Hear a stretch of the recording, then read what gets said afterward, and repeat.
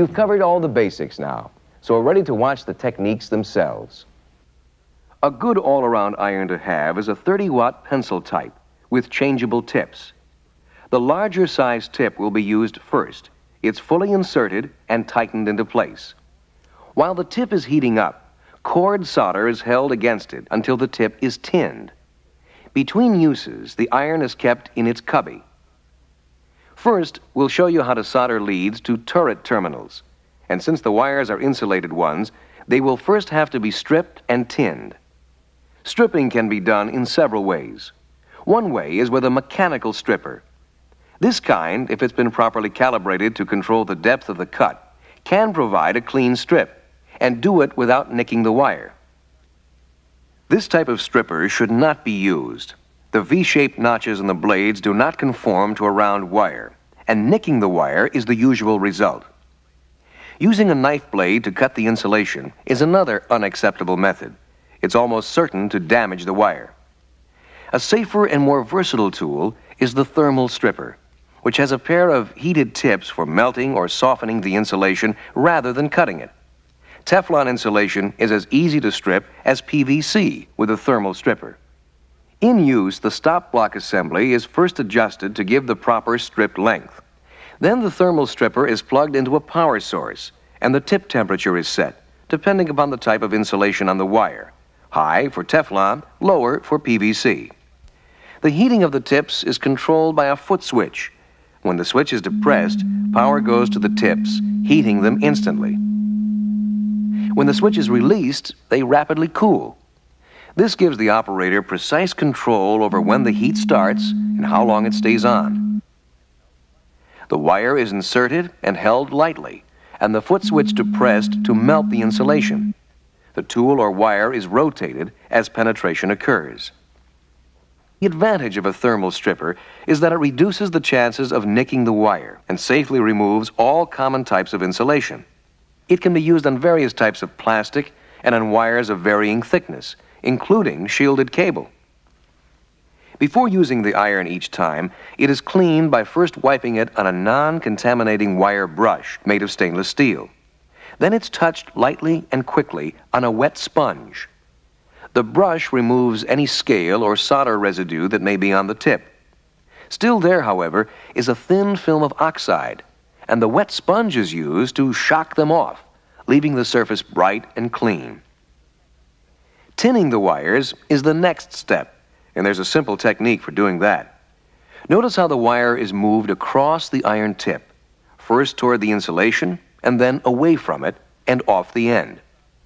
When done this way, no solder will be pushed up under the insulation. Remember, there should always be a gap left between the end of the insulation and the beginning of the tinning. Using a pair of chain-nosed or round-nosed pliers, the tinned end is now formed. The loop is cut. The wire placed in position for soldering. The actual size of the loop will vary depending on the specifications for the particular job. The loop may be a 180 degree one, which makes removal easy, or it may be as much as 360 degrees. We recommend a 270 degree wrap to ensure a tight mechanical connection before soldering. When only one wire is placed in a terminal, it is placed in the lower section, flat down against the base. In this way, any mechanical stresses will be transmitted to the board, not the terminal. If two wires are connected, they are brought in from the same side and positioned so that insulated portions of the wires are in contact, one on top of the other. Note the insulation gap that's been left in the wire. This is done so that during soldering, the insulation won't melt into the wire. Now let's watch the soldering, first in real time, and you'll see there are four basic steps involved.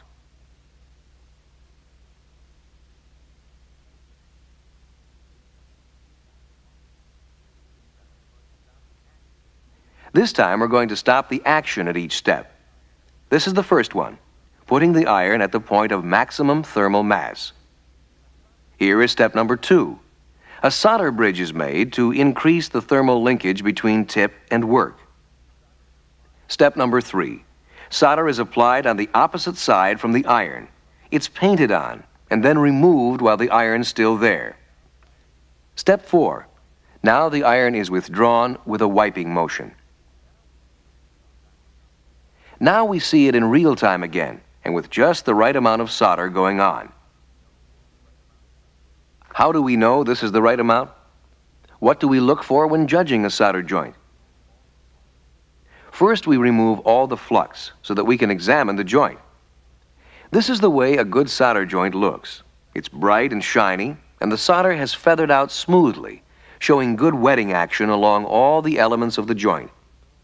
The area on the side is known as a fillet, and on a good solder joint, the fillet is always slightly concave.